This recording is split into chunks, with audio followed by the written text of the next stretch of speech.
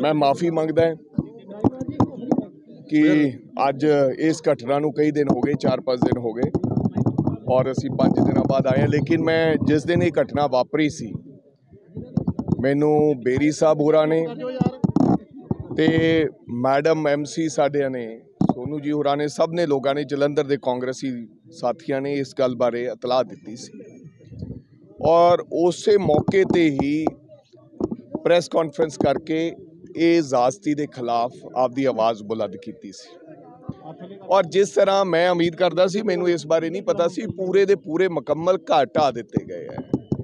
ਸੋਚਦੇ ਸੀ ਕਿ ਸ਼ਾਇਦ ਉਹਨਾਂ ਦੇ ਕੋਈ ਛੋਟੇ-ਮੋਟੇ ਕਮਰੇ, ਬਾਥਰੂਮ ਇੱਧਰ ਉੱਧਰ ਦੀਆਂ ਕੋਈ ਇਹੋ ਜਿਹੇ ਟਿਕਾਣੇ ਢਾ ਕੇ ਸਰਕਾਰ ਉਹਨਾਂ ਨੂੰ ਡਰਾਉਣਾ ਚਾਹੁੰਦੀ ਹੈ। ਲੇਕਿਨ ਜਿਸ ਤਰ੍ਹਾਂ ਇੱਥੇ ਆ ਕੇ ਹਾਲਾਤ ਜਾਂ ਮੀਡੀਆ 'ਚ ਵੇਖਿਆ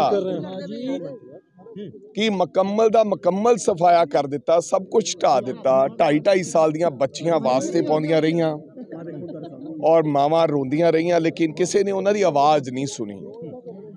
ਸੋ ਮੈਂ ਇੱਥੇ ਬੈਠ ਕੇ ਜਿਨ੍ਹਾਂ ਕੁ ਕੇਸ ਸਮਝੇ ਹੈ, ਉੱਥੋਂ ਇਹ ਅੰਦਾਜ਼ਾ ਲੱਗਿਆ ਕਿ ਸਰਕਾਰ ਜਾਣਬੁੱਝ ਕੇ ਯਾਨੀ ਕਿ ਇੰਪਰੂਵਮੈਂਟ ਟਰਸਟ ਜਾਣਬੁੱਝ ਕੇ ਇਸ ਕੇਸ ਦੀ ਪੈਰਵਾਈ ਨਹੀਂ ਕਰ ਸਕਿਆ ਔਰ ਮਿਲੀ ਭੁਗਤ ਦੇ ਨਾਲ ਇਹਨਾਂ ਲੋਕਾਂ ਦੇ ਨਾਲ ਧੋਖਾ ਹੋਇਆ। ਬੇਸ਼ੱਕ ਜਦੋਂ ਕਾਨੂੰਨ ਦੀ ਗੱਲ ਕਰਦੇ ਹਾਂ ਅਸੀਂ ਕਾਨੂੰਨ ਦਾ ਸਨਮਾਨ ਕਰਦੇ ਹਾਂ ਮਾਨਯੋਗ ਅਦਾਲਤਾਂ ਦਾ ਸਨਮਾਨ ਕਰਦੇ ਹਾਂ ਕਿਉਂਕਿ ਉਹ ਸਰਵਉੱਚ ਅਦਾਲਤਾਂ ਨੇ। ਜੋ ਜੋ ਵੀ ਫੈਸਲਾ ਉਹਨਾਂ ਦਾ ਹੈਗਾ, ਉਹ ਸਾਡੇ, ਅਸੀਂ ਹਰ ਵਿਅਕਤੀ ਮੰਨਦੇ ਹਾਂ ਲੇਕਿਨ ਜਿਹੜੀਆਂ ਅਦਾਲਤਾਂ ਮਾਨਯੋਗ ਅਦਾਲਤਾਂ, ਉਹਨਾਂ ਨੂੰ ਵੀ ਕਾਗਜ਼ੀ ਪੱਤਰੀ ਵੇਖ ਕੇ ਫੈਸਲਾ ਕਰਦੀਆਂ ਲੇਕਿਨ ਅਗਰ ਉਹਨਾਂ ਦੇ ਕੋਲੇ ਕੋਈ ਪੱਖ ਪੇਸ਼ ਹੀ ਨਾ ਕੀਤਾ ਗਿਆ, ਕੋਈ ਕਾਗਜ਼ ਐਸੇ ਦਿੱਤੇ ਹੀ ਨਹੀਂ ਗਏ, ਤੋ ਇਹ ਤਾਂ ਵਿਚਾਰੇ ਕੋਰਟ 'ਚ ਗਏ ਨਹੀਂ, ਗਰੀਬ ਲੋਕ ਹੈ, ਜਾ ਹੀ ਨਹੀਂ ਸਕਦੇ ਸੀਗੇ।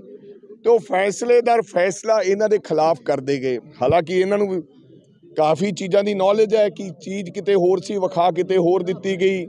ਤੇ ਆਹ ਕਾਗਜ਼ੀ ਪੱਤਰੀ ਮਿੰਤੀ ਹੋਈ ਨਹੀਂ। ਹਾਲਾਂਕਿ ਪਟਵਾਰੀਆਂ ਨੇ ਵੀ ਐਫੀਡੇਵਿਟ ਦੇਤੇ। ਬਿਆਨ ਵੀ ਕੋਟਾ 'ਚ ਦੇਤੇ ਵੀ ਇਹ ਉਹ ਖਸਰਾ ਨੰਬਰ ਨਹੀਂ ਹਨ। ਇਸ ਦੇ ਬਾਵਜੂਦ ਵੀ ਫੈਸਲਾ ਇਹਨਾਂ ਦੇ ਖਿਲਾਫ ਆ ਗਿਆ।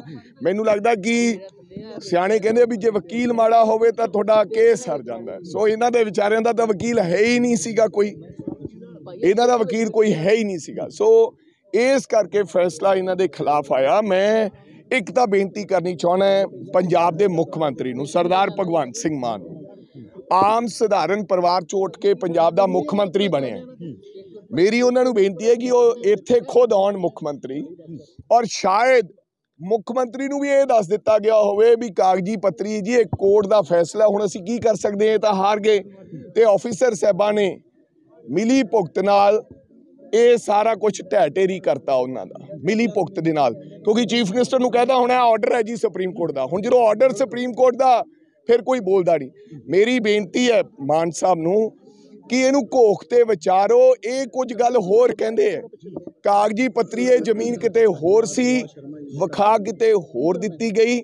ਇਹਨਾਂ ਨਾਲ ਅਨਿਆਏ ਤੇ ਧੱਕਾ ਹੋਇਆ ਆਪਦੇ ਆਫੀਸਰ ਸਾਹਿਬਾਨਾਂ ਨੂੰ ਕਹੋ ਕਿ ਮੈਨੂੰ ਸਾਰੀ ਸਚਾਈ ਚਾਨਣੇ ਮੇਰੇ ਲਾਓ।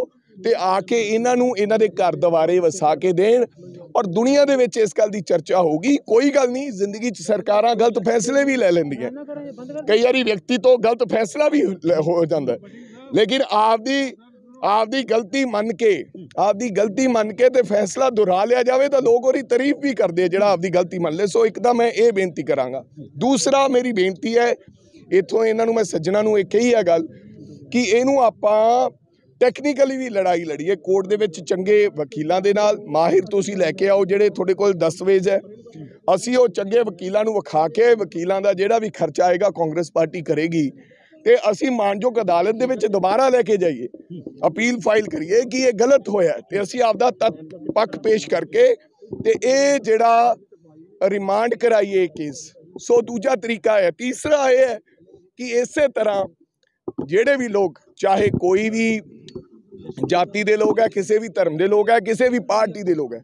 ਸਿਆਣੇ ਕਹਿੰਦੇ ਔਖੇ ਵੇਲੇ ਹਰੇਕ ਨਾਲ ਖੜੇ ਹੋ ਜਾਣਾ ਚਾਹੀਦਾ। ਬੇਸ਼ੱਕ ਕੋਈ ਬਗਾਨਾ ਵੀ ਹੋਵੇ। ਸੋ ਦੂਜੀ, ਚੌਥੀ, ਤੀਜੀ ਮੇਰੀ ਬੇਨਤੀ ਹੈ ਕਿ ਸਭ ਨੂੰ ਇਹਨਾਂ ਦੇ ਨਾਲ ਆ ਕੇ ਇਹਨਾਂ ਨਾਲ ਹਮਦਰਦੀ ਪ੍ਰਗਟਾਉਣੀ ਚਾਹੀਦੀ ਹੈ।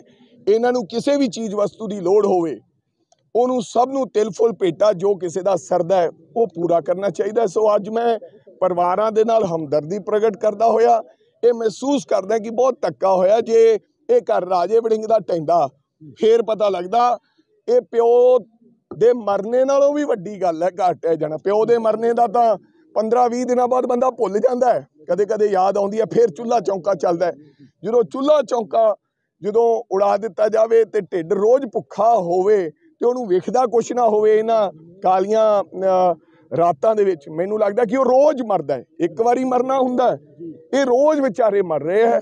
ਸੋ ਮੈਂ ਆਪਦਾ ਪਾਰਟੀ ਵੱਲੋਂ ਤੇ ਆਪ ਇਹਨਾਂ ਨਾਲ ਇਸ ਮੌਕੇ ਤੇ ਆਪਦੀ ਹਮਦਰਦੀ ਪ੍ਰਗਟ ਕਰਨ ਵਾਸਤੇ ਆਇਆ ਹਾਂ।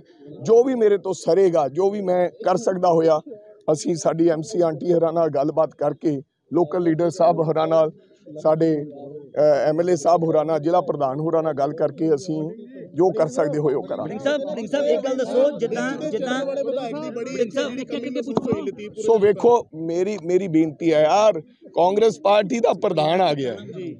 ਕਿਸੇ ਦੀ ਕਮੀ ਕਿਸੇ ਦੀ ਨਹੀਂ ਕਿਸੇ ਦੇ ਆਉਣ ਨਾਲ ਘਰ ਬਣ ਨਹੀਂ ਜਾਣਾ ਕਿਸੇ ਦੇ ਆਉਣ ਨਾਲ ਘਰ ਟਹਿ ਨਹੀਂ ਜਾਣਾ। ਹਰ ਵਿਅਕਤੀ ਦੇ ਹਰ ਵਿਅਕਤੀ ਦੇ ਸੋਚ ਨਿੱਜੀ ਹੁੰਦੀ ਹੈ।